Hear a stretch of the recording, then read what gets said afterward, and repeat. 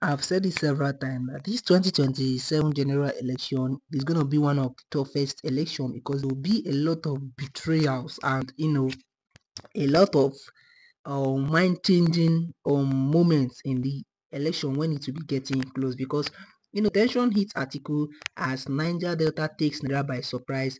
Plan for next president in um 2027 so the you know Atiku was the favorite person they want to use for 2027 election but as time is closing on they are now having another different target person to use for the PDP um um participants that will contest in the um listing 2027 general election. So hello guys welcome back to my youtube channel. If this is your first time watching a video on this beautiful channel like i always say what i do in this channel that whenever i get a vital information concerning politics or celebrity updates i tend to bring them down for us to watch and share our opinion to each other. And also if this is your first time watching a video on this channel please hit the subscribe button and also like the video so that youtube can recommend it to more people out there. So the Niger Delta integrity and justice group has expressed a preference of Dr. Goodluck Jonathan to serve as president rather than um, Bayelsa State Governor um, Douye Diri as vice president in the upcoming 2027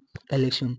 This statement comes in response to recent call for Atiku Abubakar to choose Diri as his vice president presidential candidate. Rather.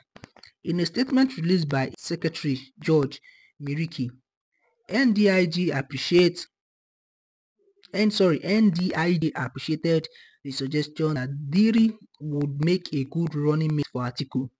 However, the group emphasized that the Niger Delta region has a different political agenda for 2027 presidential election. They expressed a desire to no longer play a secondary role in national governance by only, you know, producing vice presidents. Miriki stated, our agenda for 2027 is to produce the president. In as much as we appreciate Diri and his closeness to Atiku, we will work against short-changing the Niger Delta in 2027. We want to produce the president and our mission is to ensure that the Niger Delta completes its terms of eight years at presidency. You know, these pres these politicians have already taken, you know, president seats um political um, seat as a business. It's no more where they are going to work for the citizen anymore. You can see what they are trying to say. Many people with this kind of mindset now becomes the president of Nigeria. Do you think good things is going to fall um, before the um, the citizen? Is no, because they are only there to break record that okay, um, the Niger Delta have been producing only only um vice president that they must produce um what do they call it? They must produce a president for Nigeria. So these people we can now do with this kind of mindset, they're ready to do anything, you know, in the election to see that they win the, you know, the presidential seat, and which is very, very bad. And you know, the statement further argued for Goodluck Jonathan's candidacy, noting that this time we are coming stronger with the argument of allowing Goodluck Jonathan to complete tenure for the region. Instead of producing a vice president in Diri, we will prefer a president in Jonathan he is still loved and with his global appeal we will believe he will succeed. Hmm. NDIJ's position reflects a broader sentiment within the Niger Delta region to you know to assert more significant political influence and ensure comprehensive representation at the highest level of government.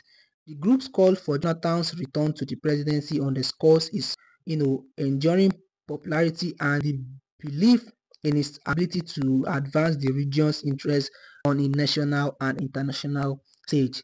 As the political landscape for the 2027 election begins to take shape, the prevalence and strategic decision of the influential regions group like DN, sorry, NDID will play a critical role in shaping the outcomes.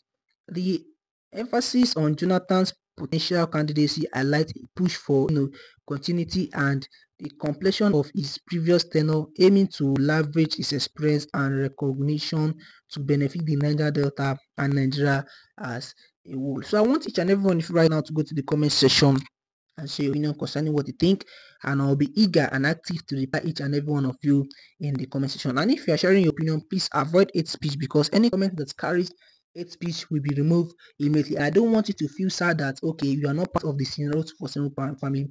Each and every one of you are part of the Scenario 247 family, but avoid using hate speech so that you will not be deleted from the comment section. Have a great day ahead. Bye bye.